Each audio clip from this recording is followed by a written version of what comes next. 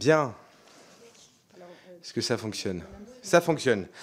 Chers collègues, donc après moult péripéties et après l'adoption du PJL ENR à l'instant en hémicycle, nous pouvons reprendre la proposition de loi d'interdiction de vente de colliers étrangleurs et électriques pour animaux de compagnie présentée par Mme Vignon. Nous continuons donc les amendements qui étaient soumis à l'ordre du jour et à discussion. Nous commençons avec l'amendement CE28 présenté par le groupe LFI. Madame Stambar De. Alors c'est à la fin de la ligne 3. Il faut substituer à pointe par dont les pointes sont tournées vers le corps de l'animal. Merci. Donc oui, c'est un, donc un amendement assez simple. Il, il consiste, juste à euh, clarifier les choses et bien préciser. Donc il s'agit qu'on interdit les colliers dont les pointes sont tournées vers le corps de l'animal, puisque comme vous le savez, il y a des fois des colliers avec des pointes à l'extérieur et que ce, ce, ne sont pas donc euh, ceux qui font l'objet de cette interdiction. Madame la rapporteure, quel est votre avis? Eh bien, je suis tout à fait de l'avis euh, de Madame Stenbach, puisque effectivement, il existe des colliers dont les pointes sont tournées vers l'extérieur et qui servent aux chiens de troupeau pour garder les troupeaux lorsqu'ils se font attaquer par des loups éventuellement ou des ours. Euh, et vous savez que l'animal est pris au cou, et donc les pointes à l'extérieur permettent de sauver le chien. Donc, ce qui veut dire que euh, ça sauve le chien, mais en tout cas, ça ne le blesse pas. Donc, je suis très favorable à cet amendement. Bien, sur cet amendement de précision, qui est pour? Avec un avis favorable donc, de la rapporteure, qui est pour? Qui est contre? Il est adopté. Toujours Madame Stembar, euh, sur le CE23. Alors, je reviens à la charge sur l'interdiction des muselières qui était déjà demandée euh, tout à l'heure par ma collègue euh, l'Arnos. Euh, alors, euh, je précise donc cet amendement euh, vise à empêcher des muselières, mais certaines muselières, on précise bien. Il ne s'agit pas d'interdire toutes les muselières, mais celles qui empêchent donc le chien de boire, manger, haleter. Et notamment, je rappelle que les chiens régulent leur température par, leur langue en haletant. Donc, si on les empêche de tirer la langue, on, définitivement, on nuit à leur, à leur bien-être. Donc, en fait, vraiment, il s'agit d'interdire uniquement les muselières qui qui euh, finalement portent atteinte à ses fonctions vitales. Et comme le disait tout à l'heure ma collègue, il existe d'autres modèles de muselières. Donc ça n'empêche pas l'utilisation de muselières quand c'est nécessaire, car ça l'est parfois. Euh, il ne s'agit pas de contester cela. Merci. Madame la rapporteure Oui, je comprends tout à fait votre propos, Madame Stenbach. Euh, ceci dit, n'ayant pas eu ce genre de, de, données par les vétérinaires que nous avons sollicités, je n'ai pas de chiffres, je n'ai pas, je, je n'ai pas grand-chose pour pouvoir pour pouvoir accepter cet amendement. Donc euh, malheureusement, il est défavorable, mais euh, je retiens peut-être votre yé pour euh, plus tard. Bien, si tout le monde est éclairé, je le propose de le mettre aux voix avec un avis défavorable de la rapporteure. Qui est pour? Qui est contre? Il n'est pas adopté. Madame Blin n'est pas présente, donc ce n'est pas défendu. Nous arrivons à des amendements pouvant être soumis à une discussion commune, des amendements faisant l'objet d'un sous-amendement. Le CE21, donc Madame la rapporteure, c'est à vous. Eh bien, l'idée de substituer au mot la vente au mot acquisition, cession, y compris en ligne, à titre onéreux ou gratuit. Euh, cela permet d'élargir euh, le champ euh, de l'interdiction de, de, cession. Madame Stambach, vous souhaitiez l'amender, le sous-amender avec le 41. Tout à fait, je vous remercie. Euh, en fait, il s'agit de, garantir qu'on met bien fin à toute forme de circulation euh, des colliers étrangleurs donc sur les, animaux domestiques. Donc, nous proposons par cet amendement d'interdire également leur cession à titre gratuit, la publicité et les petites annonces pour, euh, ces produits. Bien, et Madame Stambach, vous proposez aussi le CE29 dans la discussion commune. C'est la même chose, j'ai l'impression après le mot vente, insérer les mots ou la session à titre gratuit. Et puis vous souhaitiez compliquer le. Alors, en fait, il était d'abord présenté comme amendement et ensuite on l'a déposé aussi comme sous-amendement, donc à l'amendement de, de, Madame Vignon. D'accord, ok, très bien. Alors, Madame, Madame la rapporteure, donc votre amendement, vous y êtes favorable. Le sous-amendement et l'amendement, qu'est-ce que vous en pensez? Eh bien, moi, le sous-amendement, j'y suis favorable, effectivement. Il complète euh, mon amendement euh, en ajoutant des dispositions, donc j'y suis favorable. Bon, est-ce que tout le monde est éclairé Je propose de passer aux voix sur d'abord le sous-amendement ayant reçu un avis favorable de Madame la rapporteure, le CE41. Qui est pour Qui est contre Le sous-amendement est adopté. Je passe maintenant à l'amendement 21 ainsi sous-amendé. Qui est pour Qui est contre Il est adopté. Fait donc tomber, j'imagine, l'autre. Tout tout à fait. Amendement pouvant être soumis à une discussion commune. Nous passons au CE32. Madame Laernous n'est pas présente. Je ne vois personne du groupe écologiste présent. Donc, non défendu. Ah bah, euh, Madame Laernous, le CE31, c'est la même chose. Madame Simonet, donc Madame Stembar, pour le CE34. Merci. Oui, donc il s'agissait d'élargir l'interdiction euh, aux colliers à griffes, aux colliers vibreurs, aux colliers ultrasons et aux colliers antifigue ou air comprimé, parce que comme je l'ai dit déjà tout à l'heure, euh, ce sont bien des dispositifs qui sont considérés comme des méthodes négatives d'éducation canine par le Conseil national de, de référence pour le bien-être animal. Merci. Alors, Madame Babot n'est pas là, Monsieur Martineau, Monsieur, Monsieur Daubier? Monsieur Martineau, vous proposez donc cette fois-ci donc à pointe, à ultrasons, à aérosol, à air comprimé, à griffe ou étrangleur sans boucle d'arrêt, ce qui est légèrement différent de l'amendement de CE34 qui était défendu précédemment. Je crois. Vous, vous le défendez du coup. Vous le défendez. Avec conviction. Je vois ça. Très bien. Madame la rapporteure, quel est votre avis sur le CE34 de Madame Stamba et euh, le CE25 euh, du groupe Modem? Eh bien, euh, nous devons être cohérents puisque tout à l'heure, j'ai refusé les amendements qui parlaient euh, du, même, problème, de l'ultrason, de l'aérosol et l'air comprimé, euh, sachant que là, il s'agit, l'alinéa 4 parle de vente, donc restons cohérents. Donc, mon avis est défavorable. D'accord. Est-ce que l'un d'entre vous souhaite le retirer? Vous le maintenez? Vous le maintenez? Vous le maintenez? Pas de remarque particulière On est éclairé? Très bien. Donc, sur l'amendement LFI numéro 34, avec un avis défavorable, qui est pour? Qui est contre Il n'est pas adopté. L'amendement Modem, donc le CE25, avec un avis défavorable de Madame la rapporteure, qui est pour Qui est contre Il n'est pas adopté. Nous passons au CE33. Madame Stamba.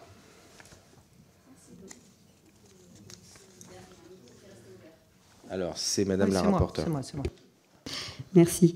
Euh, donc, il, bah, s'agit de, poursuivre donc, l'amendement qui avait été proposé précédemment et qui vise à euh, bien exclure euh, du champ donc, de cette loi les colliers dont les pointes sont tournées vers l'extérieur.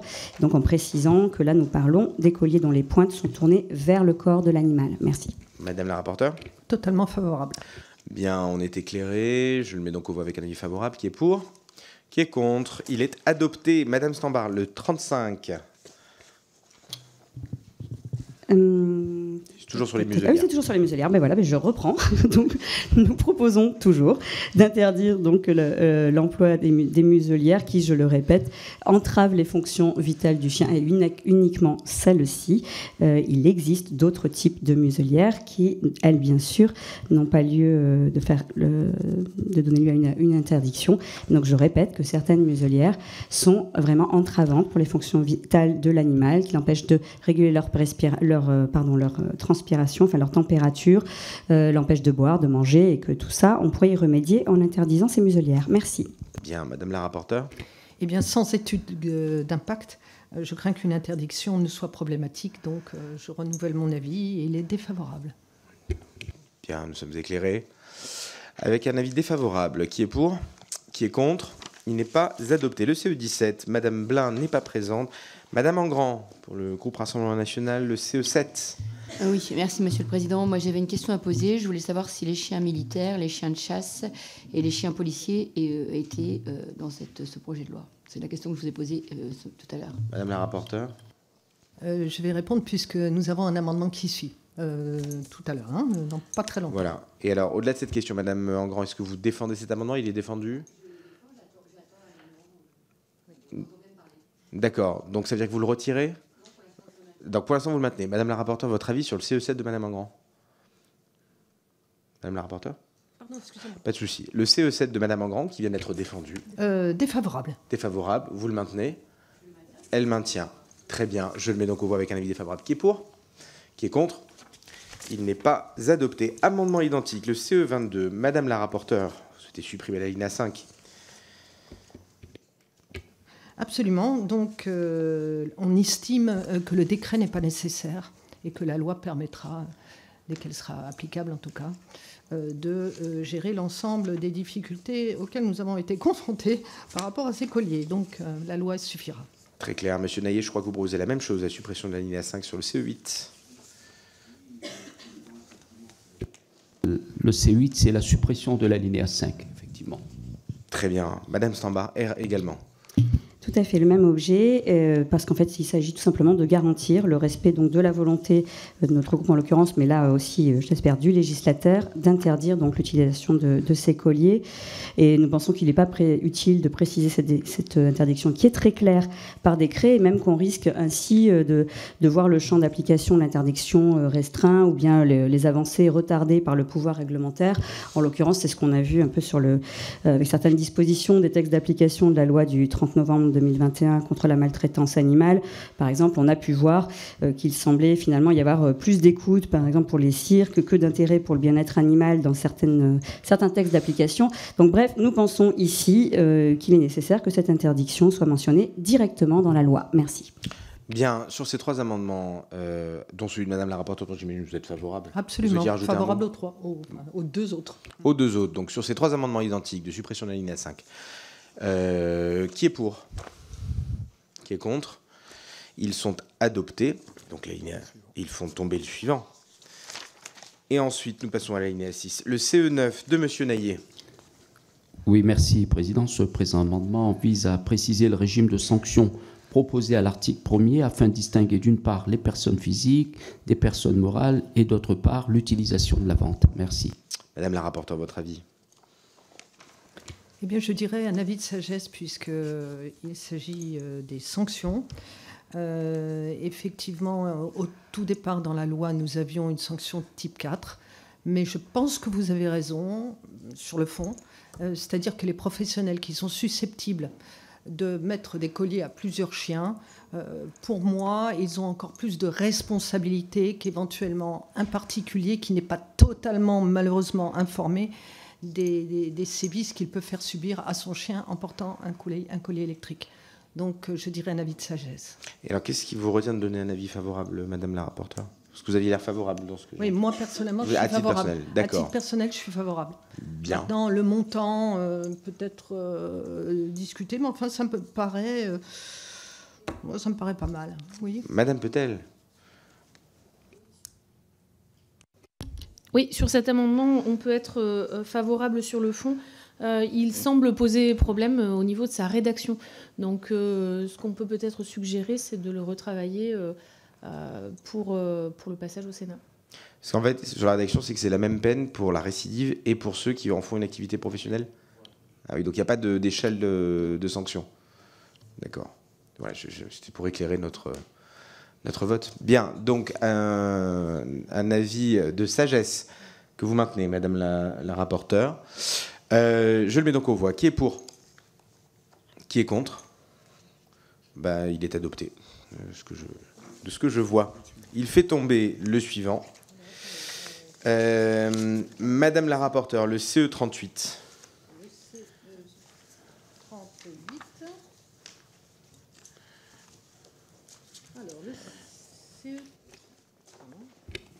Le CE38. Donc, euh, nous allons parler ici des ah. exceptions et donc répondre à, votre question.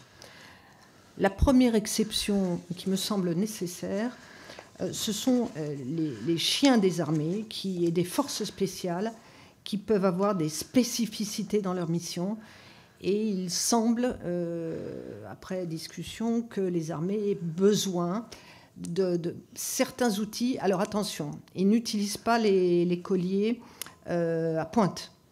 Euh, ils n'utilisent pas les colliers étrangleurs. Ils peuvent ponctuellement utiliser les colliers électriques à toute petite dose, sachant que ils utilisent cette méthode NEPOPO, qui est donc négatif, positif, positif, et qui est euh, une méthode très employée dans tous les corps d'armée, et qu'il semblerait que ce soit nécessaire. Donc, euh, je vais résumer.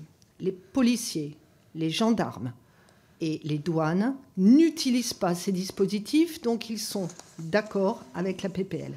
L'armée, euh, l'armée utilise ponctuellement, euh, donc on en a besoin. Et concernant la chasse, puisque c'était votre question, les chasseurs, après une audition qui s'est très très très bien passée avec les chasseurs, avec la Fédération nationale, les chasseurs nous disent il existe des chasseurs qui peuvent utiliser des colliers électriques dans deux cas. Premier cas, les chiens d'arrêt. Or, il se trouve que généralement, les chiens d'arrêt, enfin 20 ans en arrière, plus que les colliers électriques n'existaient pas, les chiens étaient rappelés au sifflet et à la voix. Donc, et comme les colliers électriques ont à peu près 20 ans, vers les années 90, il y avait autant de routes et de voitures, puisque les chasseurs m'ont dit oui, mais on a peur que le chien se fasse écraser. Ceci dit, en 90, c'était à peu près la même chose. Donc bon, euh, j'ai senti euh, une, vraie ouverture. Deuxième cas d'utilisation, euh, et c'est beaucoup plus rare, dans les chiens de meute, le chien, on va dire le chien maître, peut porter des colliers électriques. Mais ce qui se passe, c'est que les chiens qui souvent n'ont pas été nourris avant euh, la chasse au sanglier, ne sont pas nourris pendant 2-3 jours. Hein. Je peux vous dire que quand ils courent derrière un sanglier, vous pouvez appuyer sur le collier électrique, tout ce que vous voulez, le chien, il court. Et, donc il est tellement dans l'objectif de sa proie que ça n'a pas d'utilité euh, forte. Ça crée une douleur, mais euh, il n'y a pas d'utilité. Et globalement, les chasseurs qui aiment leurs chiens, hein, généralement, n'utilisent pas ce genre de dispositif. Et donc, le président de la Fédération de la chasse m'a dit bon, si on peut le, supprimer, bon, mais si on ne le supprime pas, c'est pas si grave. Parce qu'il sait qu'il y a peu de, chasseurs qui l'utilisent. Voilà. Bien. Madame la rapporteure, le 38, c'est vraiment sur l'armée, hein, c'est ça oui, oui. Voilà, d'accord. Oui, mais c'était pour répondre à ma Très bien, je comprends très bien. Donc sur cet amendement, donc le CE38, Monsieur Signeri, allez-y. Oui, simplement, je ne suis pas chasseur, donc je ne peux pas me prononcer là-dessus. Mais concernant les, les, euh, les chiens militaires, je peux vous dire, chère madame, que les chiens militaires, ce sont des chiens qui sont éduqués au suite au pierre suite au pied sans laisse, aux assouplissements, au rappel. Ce ne sont pas des chiens qui ont besoin d'être, d'avoir des colliers de manière au rappel du, du, maître. Un simple commandement, le chien revient au pied et il n'y a aucun souci. Euh, on a des militaires, euh, moi j'ai assuré la sécurité de la BA 700 à Salon de Provence. On avait des chiens qui étaient éduqués, qui partaient sur des centaines de mètres au simple rappel les chiens revenaient. Donc, euh, ce sont des chiens qui sont euh, réglés, euh, qui, ont une familiarité avec le, maître. Il y a une. Bon, c'est. Autant, autant sur les chiens militaires, je ne suis pas d'accord. Autant sur la chasse, j'y connais rien. Donc, je, mais je, vos arguments sont vrais parce que quand un sanglier, quand un chien part sur un sanglier, bon, ben, rien ne peut l'arrêter. Vous pouvez mettre ce que vous voulez. Là-dessus, je suis d'accord. Bien. Donc vous êtes quand même, de ce que je comprends, vous êtes d'accord avec l'amendement qui vise à exclure les chiens militaires du sujet. C'est d'accord, très bien. D'autres remarques? Très bien. Maintenant que nous sommes éclairés, je vais passer aux voix sur cet amendement 38 de Madame la rapporteure. Qui est pour? Qui est contre? Il est adopté. Le CE39, Madame la rapporteure. Eh bien, il, consiste, euh, consiste en une autre euh, exception, euh, ce qui est la perche lorsque vous avez un animal qui divague, lorsque vous avez un chien errant qui pourrait être dangereux, euh, eh bien on utilise une perche avec une sorte de nœud coulant. Et donc on attrape le chien avec une, certaine distance, hein, il y a deux mètres. Et donc, euh, bon, ça n'arrive pas tous les jours, hein, mais euh, ce dispositif est important. Souvent pour les policiers municipaux, etc., ils ont besoin de cet outil. Voilà. Bien. Une remarque. Monsieur Signeri Oui, ça s'appelle un lasso. Et lorsqu'il y a des accidents sur l'autoroute, par exemple, quand il y a des chiens qui sont blessés et qu'il faut sortir des dogs allemands ou des bergers allemands, effectivement, il faut la manchette, la manchette de protection et le lasso. Vous avez raison. Bien. Nous sommes éclairés sur cet avis, sur cet amendement numéro 39 de Madame la rapporteure. Je le mets aux voix. Qui est pour? Qui est contre? Il est adopté. Je vais mettre aux voix l'article premier. Qui est pour l'article? Qui est contre? Il est adopté. L'article 2, amendement de suppression de l'article. Monsieur Signeri, vous souhaitez supprimer l'article 2 C'est le CE4. On ne bouge pas.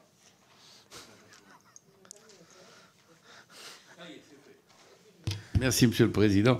Oui, cette proposition de loi vise à interdire la vente et l'utilisation de tout dispositif électrique étrangleur sans boucle d'arrêt ou à pointe qui cause les, souffrances animales dont le détail serait déterminé par voie réglementaire. Il importe de mettre l'ensemble de notre législation en cohérence et en ligne avec les attentes et les valeurs de la société française en interdisant l'emploi et la vente libre des colis à pointe et à stimulation électrique. Cet amendement vise à rendre la loi applicable dès sa promulgation afin de protéger au plus vite les animaux victimes de maltraitance. Il n'y a pas lieu, je dis bien, il n'y a pas lieu d'ajouter un délai de près d'un an. Madame la rapporteure, qu'en dites-vous?